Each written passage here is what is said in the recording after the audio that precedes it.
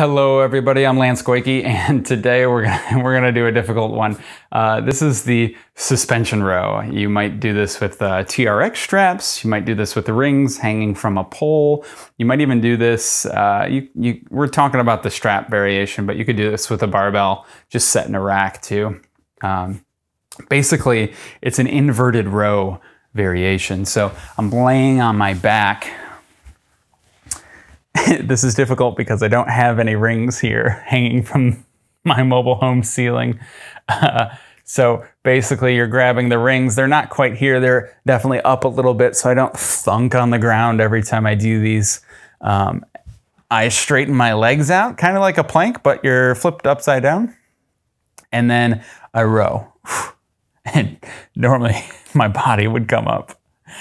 Um, I'm sorry for making this video. It's not too bad though. We're gonna kind of talk through it. So if you've watched some of the other rowing videos, you know some of the most important things, right?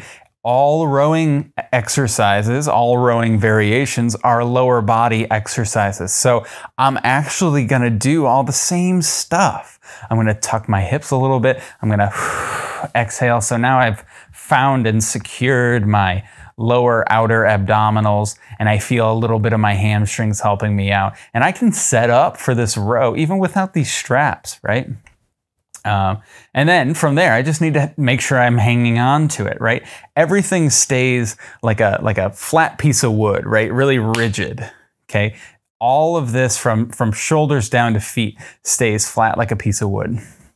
And then from there, I'm just doing my same rowing variations. I'm leading with the shoulder, and then the elbow is following afterwards. Okay, and I'm doing both at the same time. I'm this one is really easy to stick your chest out while you're rowing and lose that ab security, that core position that makes this so effective.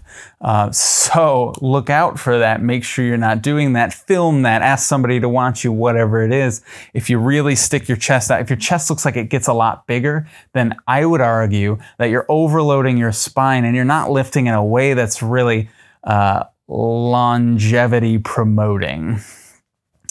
Uh, okay, yeah, so same thing. Secure with the lower body, uh, find those abs, and then make sure you're getting the stretch when your arms are straight, and then make sure you're leading with the shoulders and the elbows are following so that you can get that upper back development instead of just back pain.